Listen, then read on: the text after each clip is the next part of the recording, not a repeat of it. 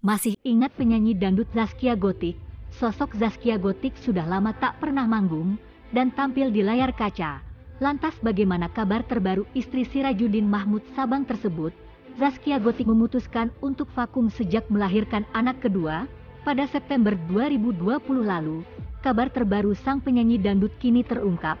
Zaskia Gotik sejauh ini masih disibukkan dengan mengurus kedua buah hatinya dan belum bisa pergi keluar untuk bernyanyi, apalagi diakui oleh Zaskia bahwa sang suami, Sirajuddin Mahmud, belum memberikan izin untuk kembali manggung, Zaskia mengakui bahwa selama ini memutuskan untuk menepi sesaat, tawaran untuk manggung sering berdatangan sembari tertawa. Zaskia menyebut bahwa surat izin jalannya belum turun dari sang suaminya, sehingga ia memilih tetap menepi menikah dengan Sirajuddin Mahmud.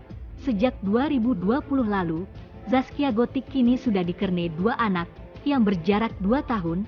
Zaskiani yang lebih dikenal adalah seorang penyanyi dangdut aktris membawa acara dan pelawak asal Indonesia sebelum menjadi pedangdut kondang seperti sekarang.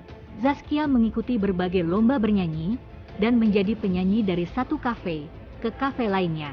Pada 2011, kala itu anak dari pasangan Sosin dan Jumaina digandeng oleh Lambang Naga Suara untuk menulis sebuah single dari sinilah karirnya. Di dunia hiburan sebagai penyanyi dangdut mulai terbuka lebar, Zaskia mengawali dengan merilis single perdana yang sukses, meroketkan namanya di industri musik tanah air.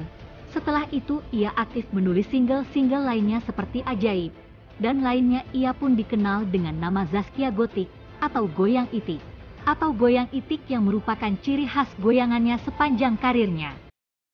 Dan jangan lupa dukung terus channel Haba Celebrities. Terima kasih.